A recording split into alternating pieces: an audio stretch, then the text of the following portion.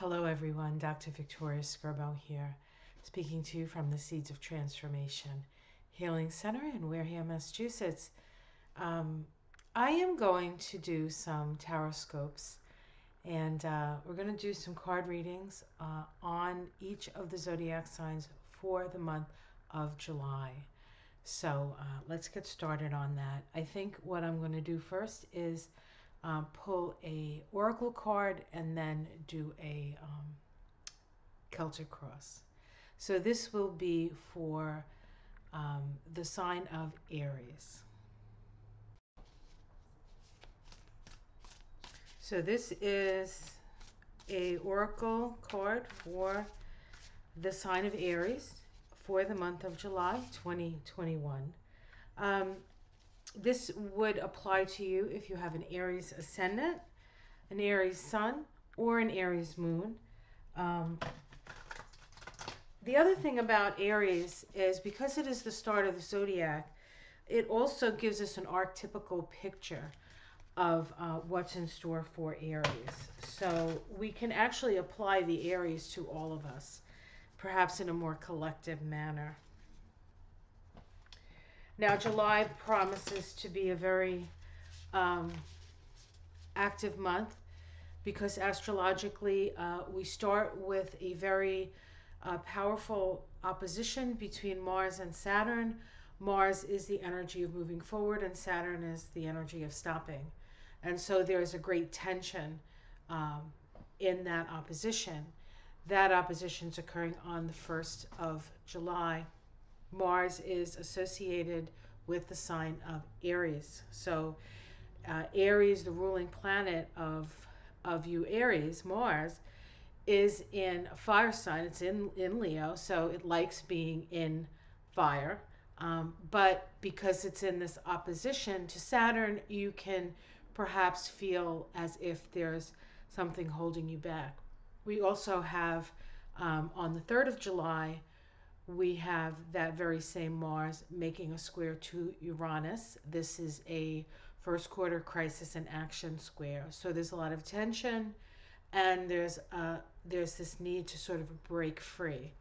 Um, so that's true. That's true for all of us. Um, but because Aries is ruled by Mars, you may feel it um, more uh, acutely.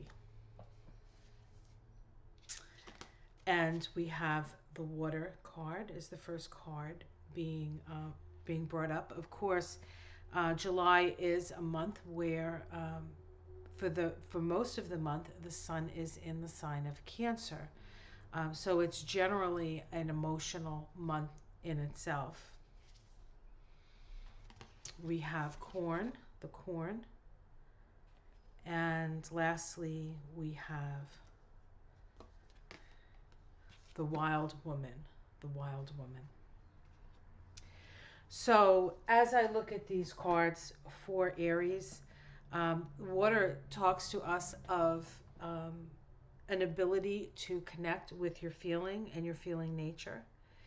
And the corn card is um, is one associated with planting those things that will nurture you, planting those things that will nurture you many years ago, I did a, um, many years ago, I did a, a, a week uh, with um, three um, women um, associated with the goddess religions. This was back in 1989. And it was with Starhawk, for those of you who know who she is, Luisah Teish, um, and Margot Adler, God rest her soul or goddess rest her soul, I should say. Um, and it was a week long, and we did all kinds of uh, uh, ceremony and all kinds of uh, circles, and, and it was a transformative time in my life for sure, and sort of uh, plopped me right on my path. Um, but there was a point where, uh, before we started what we were going to do, like they did uh, Luisah Teish did the cowrie shells, which is a divination, and uh, she came up with um, the rain has to fall before the corn can grow, and that's what this Aries is about. The rain must fall before the corn can grow. And so we have to feel our feelings, we have to experience them, we cannot shove them down. Um, we must, in a way, become the wild woman, the woman who is breaking free from the energy of um, what is expected. Very, very Uranus in Taurus, actually, this card, if you ask me. And so, um, again, this is true of um, the Aries energy, but also true for all of us because Aries, as the start of the zodiac, sort of gives us a sense of uh, what it is that uh, that lies ahead for for all of us on an archetypical level. So that is the beginning. Let's see what the cards say. I will be using for, um, excuse me, let me find it.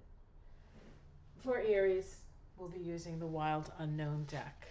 The Wild Unknown. So, so this is for you, Aries, Aries Rising, and Aries Moon.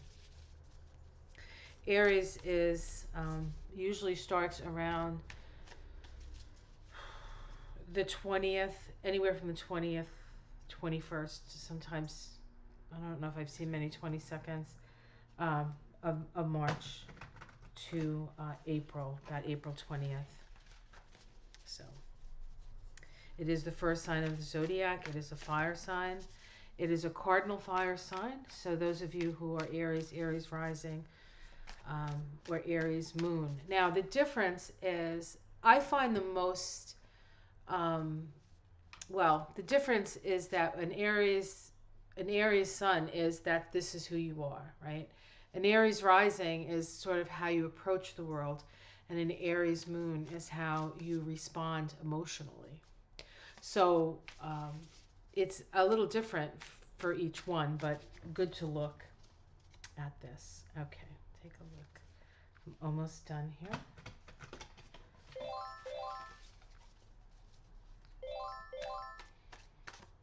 Excuse me.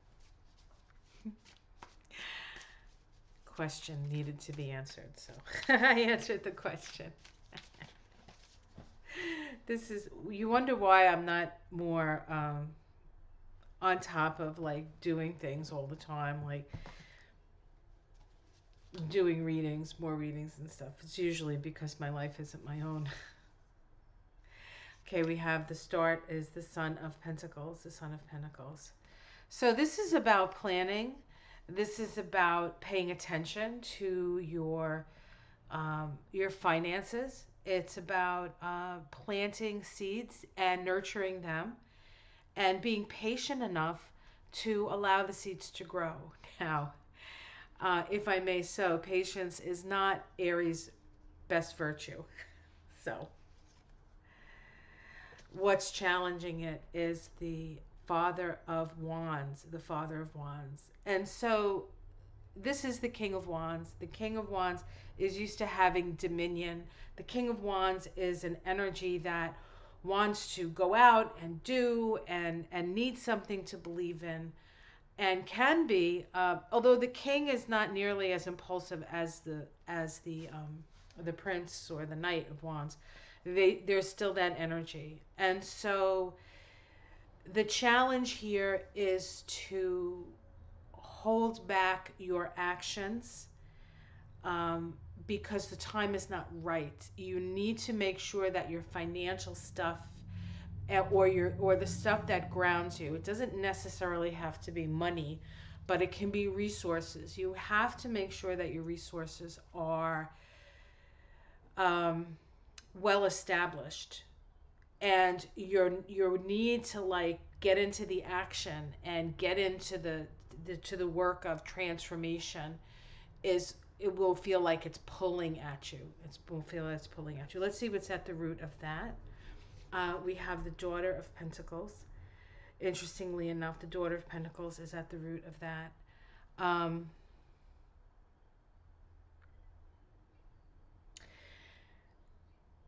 the daughter or the or the or the page of pentacles is an energy that is just now learning how to manifest. Um, it's like um, oftentimes that card is associated with learning. There's, there's there's some learning that needs to happen, and so I feel like this is part of that. This is part of the learning um, to um, manifest your light. Aries is very much becoming, but what are we becoming? Um, it's generally not an energy that will put roots down. Usually we don't see the roots come in until until Taurus. But this is this challenge of um, making sure your foundations are planted, your seeds are planted, that that the the um, that you're paying attention to that is part of a learning curve for you guys to um, go through the process and learn how to manifest instead of just being a flash in the pan. Let's see what's in the in the in the okay. So we have uh, the 7 of pentacles in the past. The 7 of pentacles is you have done some work but it's not quite done. Things aren't quite ready. You're not quite ready for prime time. And again, it's pentacles. So it's saying that are you taking care of your finances? Are you taking care of your body? Perhaps it's your body that's that's that you're not uh, you're not paying attention to. These things aren't necessary. These things are necessary. Let's see what's in the sky. We have the Son of Cups. The Son of Cups, uh, or the or the Knight of Cups, is is an energy that is very idealistic and also very much um, there's an idealism to it. Their heart is in the right place, but they don't always. Um, sometimes they're too in love with the idea of love to notice that there's love all around them. And so, um, this in the sky of this reading says to me that you need to keep your innocence, you need to keep your idealism, um, but utilize it as a something to aspire to and not actually the reality of the situation that you're in. Um, it's an aspirational energy not necessarily an actual energy but it is a good energy to keep as a goal to keep to sort of have that purity of heart as you move through your month and in the immediate future, we have the Two of Swords. This is um, this th- this card can be a stalemate.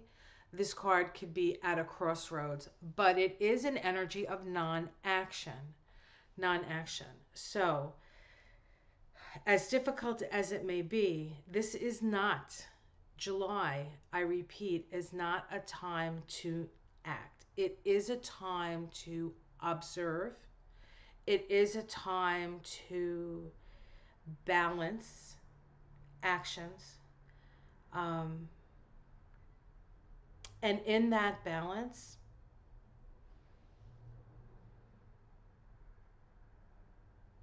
a door will open. A door of opportunity will open. How it's seen from outside. Um, it may seem like you're giving up on something to the outside world, to the outside world, not necessarily true. Your domestic situation? Okay, I like this. I like this. The Nine of Pentacles. Non action will bring you resources. Now, that sort of goes against probably Aries like whole thing, right? But that's what it says. Hopes and fears. Um, a new world. This always says to me a new world, a new world. Hope for a new world. And the outcome, excuse me, again. Okay, I'm back. Sorry about that.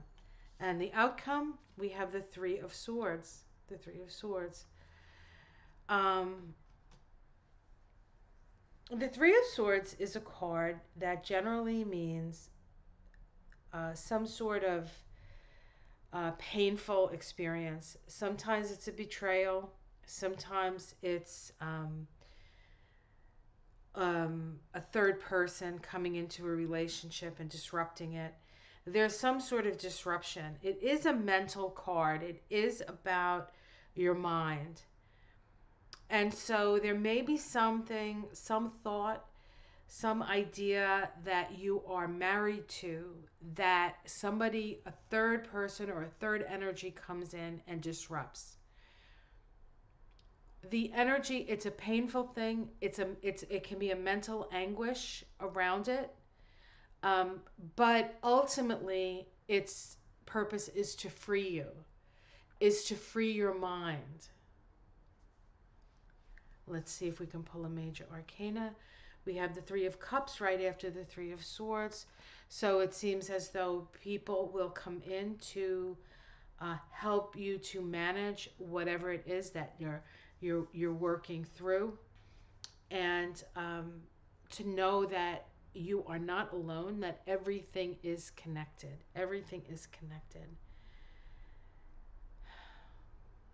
And that's the thing with Aries because it's the first sign. Very often you feel as though you're in it on your own. You feel like you need to be a self cleaning oven. Uh, I have my husband is an Aries. Um, and he's also has a lot of ones in his numerological chart and one is sort of the number of aries right um, but very often he um, tries to solve all his problems on his own and he doesn't necessarily ask for help and, and for people who have uh, prominent aries now i am not an aries i do not have an aries moon i am not an aries ascendant but i have mars in the first house um, and I, my first house is very full. So if you're if you happen to have a first house that's very full, and you would know that if you know your chart. Not everybody knows their chart. I realize that. This can also be an energy um, that you're working with. So a really full first house, the the Aries house, we can also be feel, feeling this, and you can also have the tendency to want to do it all on your own. Um, you do not have to face the world alone. You don't there are many people who are there to help you. You just have to look around and open to the possibility of not having to do it all by yourself. And then we get the victory card. So, this month for you, Aries, Aries rising, and Aries moon, is going to be a month where uh, patience is a virtue and I believe the waiting is going to perhaps feel like you waited too long at some point because something that you were thinking about doesn't happen. Um, but ultimately, on the other side of that is a victory. On the other side of that, patience is a virtue that will be um, rewarded. Patience is a virtue that will be rewarded.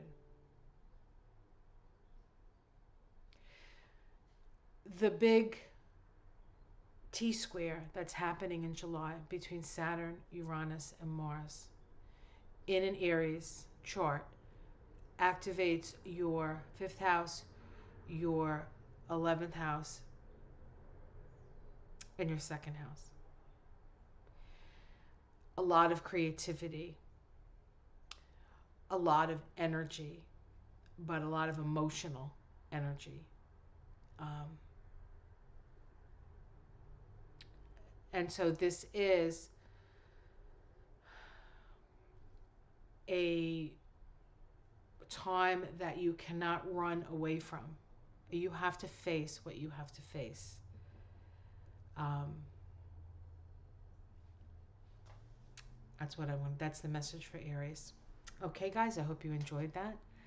Uh, like and subscribe, and um, I will be back again next month for a uh, tarot scope on Aries. Much love.